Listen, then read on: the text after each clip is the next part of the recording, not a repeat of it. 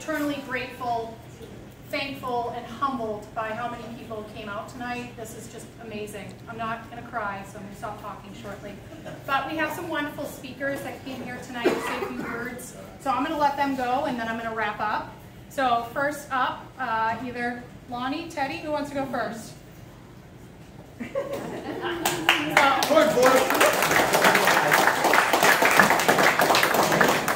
Unlike Lynne, I lost my voice last week. It's coming back, so those that know me say, what's up? Um, it's an honor to be the opening act, or maybe it's even more of an honor to be have Geoff Diehl as the closing act for my opening act. Uh, either way, thank you so much for inviting me here. Um, look, you said I could say anything in the world, and um, what I'd like to do is something a little different, and that is just have a small moment of silence, if we could, for the American hostages, the Jewish hostages. Sorry, that's my voice. You can say a silent prayer or something. Thanks. Um, look, uh, I'm not really sure what to say about the Mass GOP. I think we know we use the term dysfunctional. I was trying to come up in my mind, you know, what's the image that comes to your mind when you think of the Mass GOP? And all I could think of is food fight, Belushi in uh, an Animal House. But it wasn't a good enough analogy. Yes, that fit the June 8th meeting to a T. And I put in the newspaper, the Boston Broadside, a number of pictures of people who are, you can talk to and they're nice, they're yelling at one another, they're screaming. It was, it was total chaos. So the other analogy, and it's, it's really simple to do and put in your mind, but it's not accurate, but I want to do it anyway.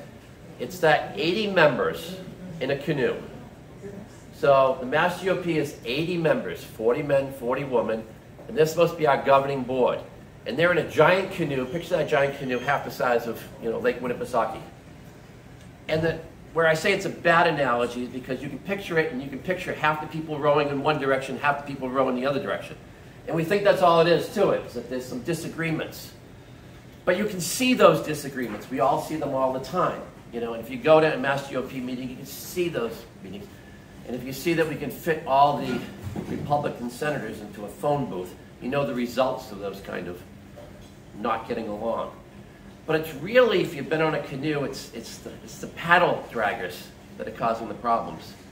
And you might not see them because sometimes you think they're on your side rowing, but they're really dragging the paddle. And the canoe is going nowhere. So that was my kind of image of the Mass GOP. So I want to make the Mass GOP relevant again.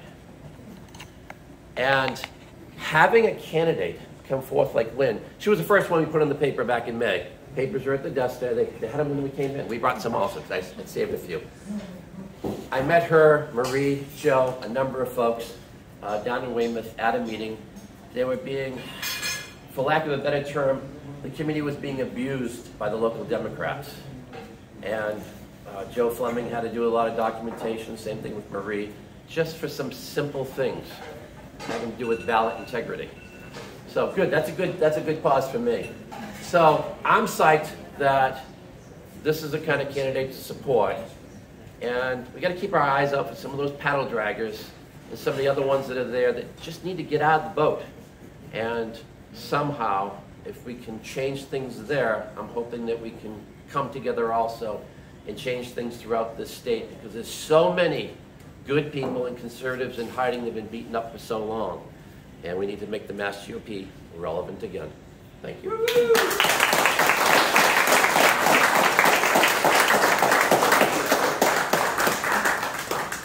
Come on up, Teddy. Good evening, everyone. It's an honor to be here and speak on behalf of my good friend Lynne. And um, I have to tell you, it was about a year and a half ago that I hit the lottery. No, it wasn't Powerball, and it wasn't Mass Millions. Oh. oh. I hit. I was introduced to Lynne through a mutual friend, Priscilla Guerrero. Priscilla knew that I was in desperate need of a technology expert to help me with my campaign for governor's council. And lo and behold, Lynne stepped up to the plate and eagerly jumped on board, and we were a team ever since.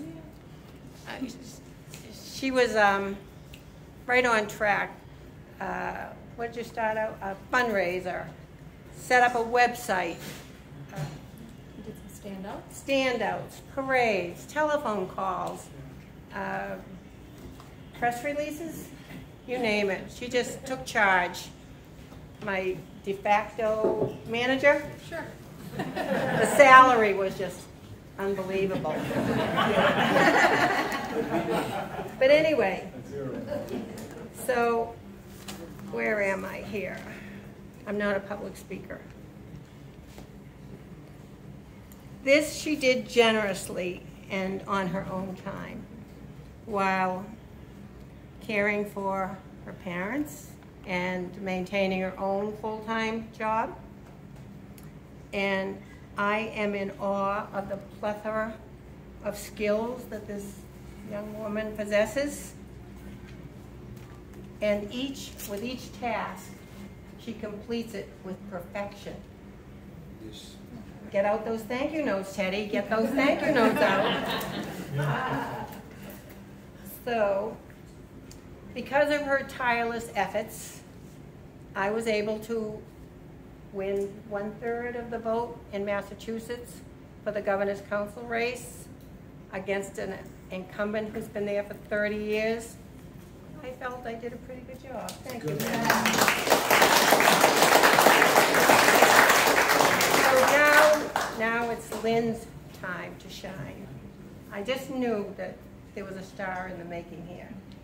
She has enthusiasm and a work ethic and let's see what else. Uh, What else did I want to say? certain je ne sais quoi. Ah, the most, the most important ones, the courage of her convictions. So,